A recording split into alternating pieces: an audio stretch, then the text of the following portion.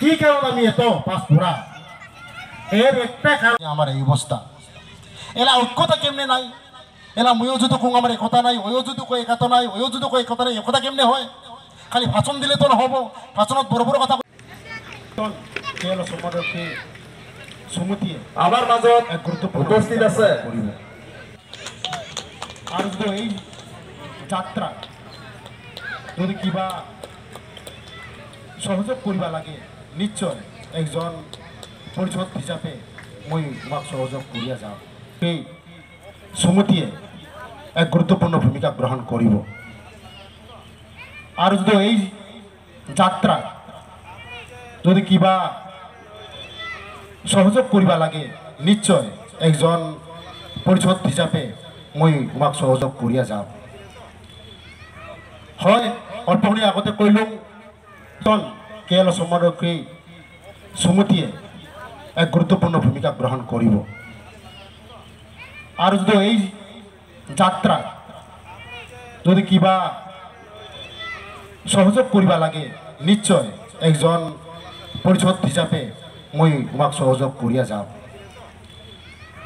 হয় অল্পখিনি আগতে কৈলোঁ যি আমাৰ প্ৰাক্তন কে এল অ' চমুৰক্ষী চুমুতিয়ে সিহঁতৰ ত্ৰিছতম শ্বহীদ দিৱস ইতিমধ্যে ৰূপায়ণ কৰিছে আৰু মই আজি এই অনুষ্ঠানত আহ, মই এটা আপোনাৰ জৰিয়তে চৰকাৰক আবেদন কৰিব বিচাৰোঁ।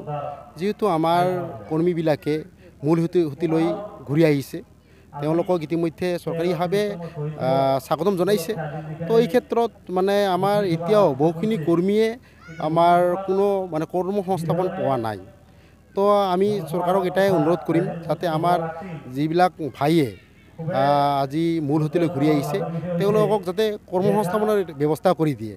নহ'লে চাওক সিহঁতে যিহেতু কৰ- চৰকাৰৰ ওপৰত আস্থা মানে ৰাখি এটা সুন্দৰ মানে পৰিৱেশৰ মাজেদি এটা আলোচনা লৈ আহিছে।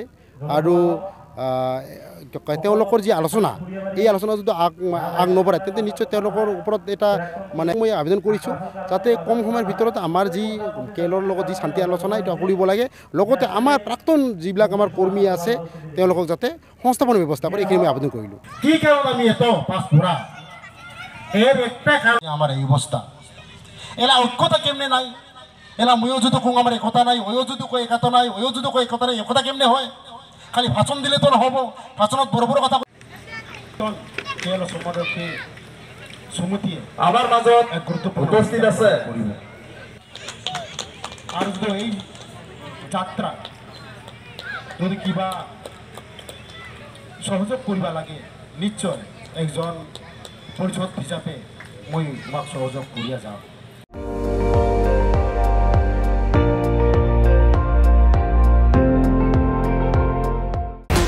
আপুনি চাই আছে এন ডি টুৱেণ্টি ফ'ৰ। সৰ্বশ্ৰেষ্ঠ নহয় সৰ্বোত্তমৰ দৌৰা।